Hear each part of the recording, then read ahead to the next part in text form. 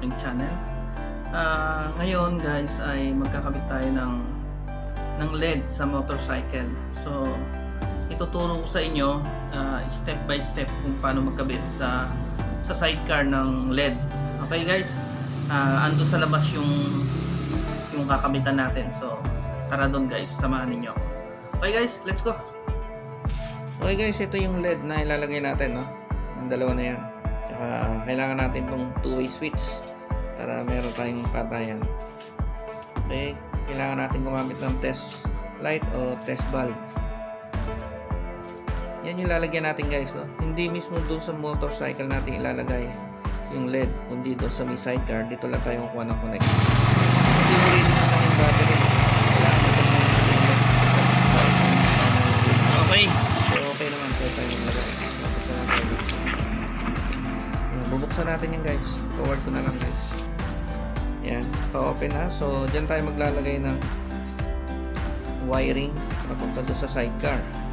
Okay guys, ito yung kanya ignition switch. 4 wire, 4 wires yan guys. Ilagay ko lang sa screen yung kulay kasi medyo malabo dyan. Yan. Tapos, gamit ang ating test light, ilagay nyo sa negative ng battery kasi positive yung hanapin natin dun sa accessories wire.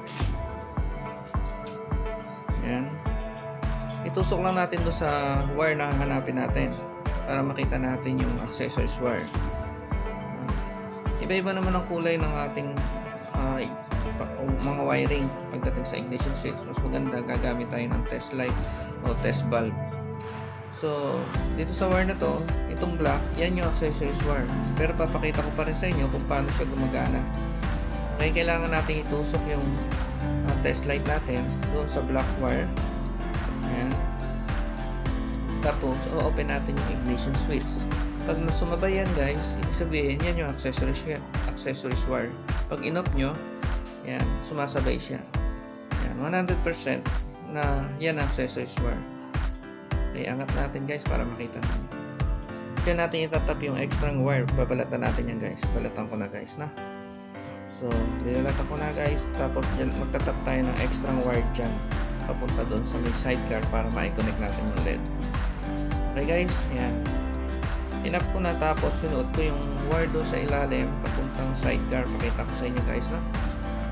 Yan. Yan lumusot guys. dito ayan hanggang sa taas kung saan natin ilalagay yung ilaw so eto siya okay dyan natin ilalagay mamaya yung two way switch guys no? Tapos ito yung wiring ayan. Sinot ko sa ilalim. Medyo madilim lang guys no? Tapos pataas siya. Ayan. Madilim eh. Ayan. Okay. So ito yung dulo. So, pagkapangin natin, dyan niya gusto ilagay yung LED na pinapakabit niya. Siya masusunod kung saan ang lokasyon.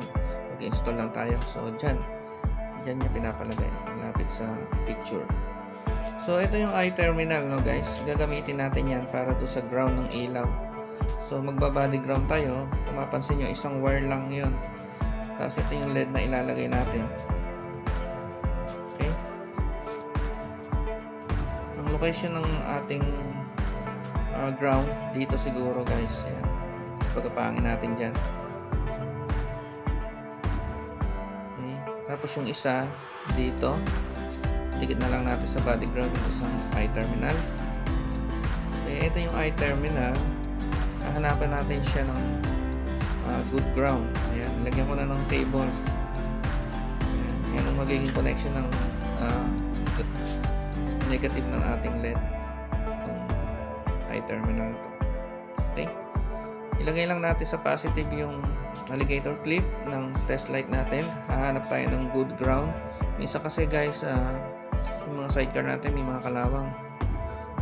Okay kailangan natin ayan makakuha ng good ground sa ating pagkakabitan ng eye terminal. Pwede rin sa tornilyo guys no? Kung merong tornilyong bakante mas maganda yon pero ito wala.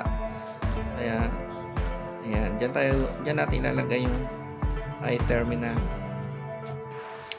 terminal susuksok natin yan tapos nalagyan natin ng stick glue okay Ayan guys, nalagay ko na ano. Ayan, hanggang sa taas yun. Sinukso ko doon, nilagay ako ng stick glue para hindi siya mag-move. Yung ilaw, nilagay ko na rin guys. Ayan, negative lang yung nandito sa body ground. Tapos yung positive natin, yung isang wire na kinonek natin kanina. Okay, ayan, yung positive wire. Ito yung sa ignition switch. Pinotol lang natin, siniris lang natin yung two-way switch. Nilagay ko na rin to. Kasi sa ilalim. So. Okay, wait lang guys ha.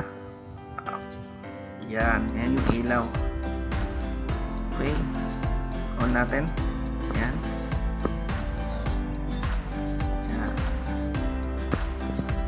So, ayan yung isa. Yan niya gustong lokasyon, no? Kaya dyan natin nilagay.